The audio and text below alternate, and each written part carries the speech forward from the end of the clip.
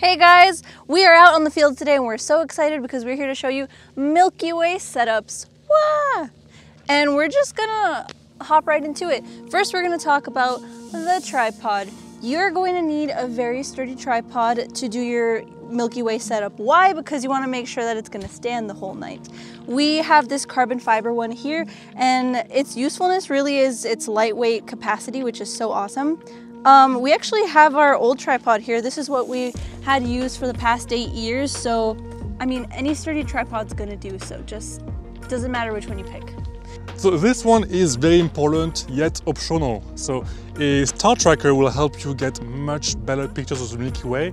It will allow you to take much longer exposures.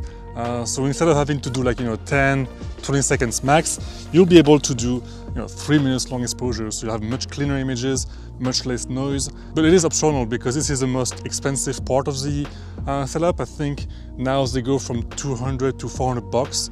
Uh, this is a very, very first uh, Pro, so it's very cheap online if you go on eBay or something.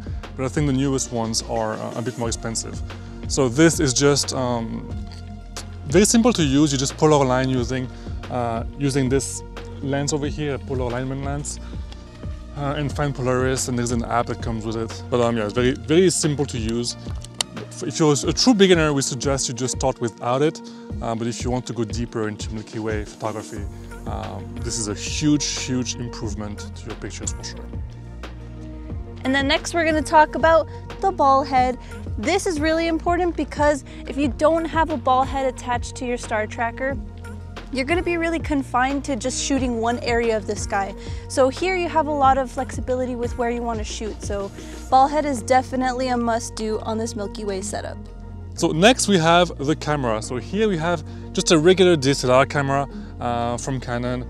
One thing we suggest adding if you plan to do Milky Way uh, you know, a lot is this thing right here, which is called the battery grip. So this goes over here on the bottom and it replaces your battery. And instead of having one battery in your camera, you can have two batteries in here. So let me just show you real quick.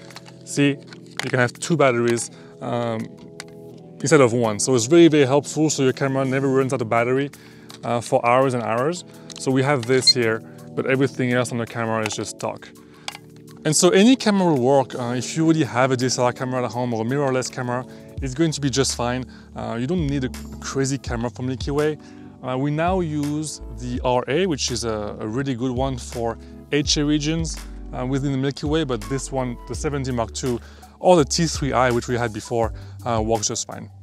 And here we have the intervalometer, which is super duper important. It helps you um, choose the exposure time, uh, set intervals, set delays too. And this is actually a wired one that is attached to our camera. But guess what? They also come in, oop, I just detached it. They also come wireless, so you can attach this part to your camera and then you can control it wirelessly. Okay, and lastly, we'll go over the, the last part, which is the lens. So the lens is of course very important. This is a, an affordable lens, I think, the Rokinon 10mm lens f2.8. And 10mm is actually very good for Milky Way with cropped sensor cameras. So with our cropped sensor camera, we use 10mm all the time for Milky Way stuff. If we use the RA, which is a full frame camera, we'll go to 14mm um, because 10 is a bit too wide in our opinion. Uh, yeah, but for an APS-C sensor, uh, 10 is perfect. It's going to give you a very wide view of the whole Milky Way band. If you go under 10, it might look a bit too uh, fish eye for our taste, so be careful with that. But um, 10 and up is perfect. I would say between 10 and 24 millimeter for focal length of, on, your, uh, on your lens is the best for Milky Way. Uh, and then look for the f number. This one is f2.8. Um, our other lens for our um, full frame camera is f1.4 I think or 1.8 which is great um, but yeah the faster the lens the more light it will capture for the Milky Way especially if you don't have a tracker so uh, very important.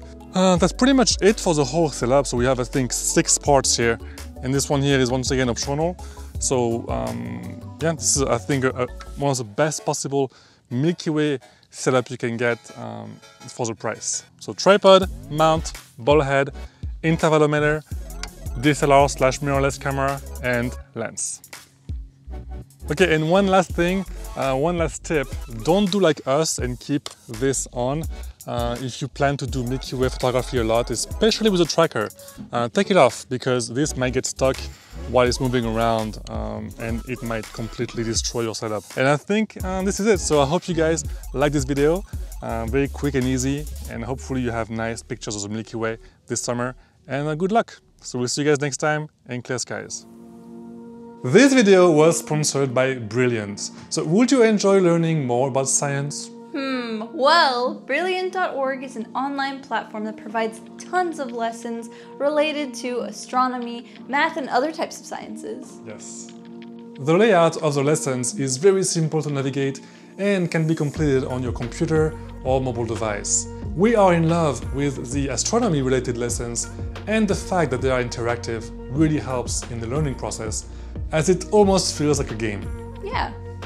If you find yourself busy most of the time, kind of like me and Antoine, it really is so simple to just spend like 15 minutes a day, any day of the week, uh, learning something new. And new content is always added each month, so that is really cool. Yes, go train your brain. so to try everything Brilliant has to offer for 30 days free, visit the link in our description. And the first 200 of you will get 20% off Brilliant's annual premium subscription.